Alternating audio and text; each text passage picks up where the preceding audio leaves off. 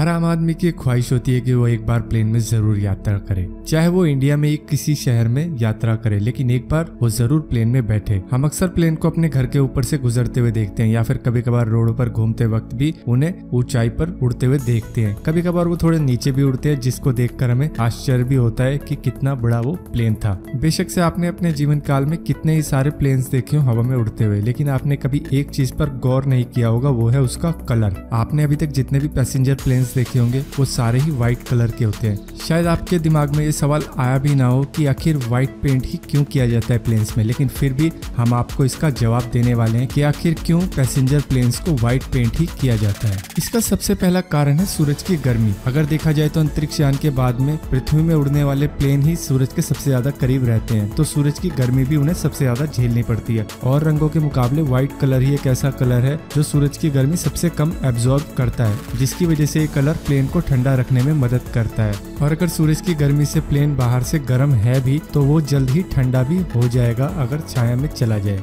सूरज की गर्मी का विरोध करने के कारण ही ये कलर और कलरों के मुकाबले ज़्यादा लंबा चल जाता है। अन्य कलर सूरज की गर्मी को एब्जॉर्व करते हैं और तेज़ी से उड़ने के कारण हवा की थपेड़ों से वो कलर जल्द ही फेड हो जाता है, यानी कि हल्का पड़ जाता है। और कलर के पेंट्स व्हाइट कलर की तुलना में ज़्यादा भारी होते हैं, क्योंकि व्हाइट कलर में ही अगर दूसरा कलर मिलाए तो दूसरा कलर बनता है। तो इस वजह से ज़्यादातर प्लेन व्हाइट कलर का यूज़ करते हैं, जिसकी वजह से प्लेन काफ़ी हल्का भी रहता है, जिसकी वजह से उसकी माइलेज में काफ़ी सुधार आता है और तेल की कम खपत होती है। अगर पेंट जॉब के पैसे की बात की जाए तो ये बिल्कुल भी सस्ता नहीं है। लेकिन और कलरों के मुकाबले व्हाइट कलर सबसे ज़्यादा सस्ता पड़ता है तो इसकी वजह से ही पैसेंजर प्लेन व्हाइट कलर को यूज़ करते हैं, जिसकी वजह से उनका काफ़ी ज़्यादा पैसा बच जाता है। प्लेन की सुरक्षा को मद्देनजर रखते हुए व्हाइट कलर को ही काफ़ी सुरक्षित माना जाता है, क्योंकि इसमें हम देख सकते हैं कि कहाँ से धुआँ निकल रहा है या फिर कहाँ पे लीकेज हो रही है या फिर कहाँ पर तेल का रिसाव हो रहा है, जिसकी वजह से प्लेन की खराबी ढूँढने में भी काफ़ी ज़्यादा आसानी होती है, जिससे टाइम बच जाता है। अगर हम बात करें दूसरे कलर के प्लेन्स की तो दूसरे कलर के प्लेन्स भी होते हैं, लेकिन उनमें ये सब बातें नहीं होती जो जो हमने आपको बताई है।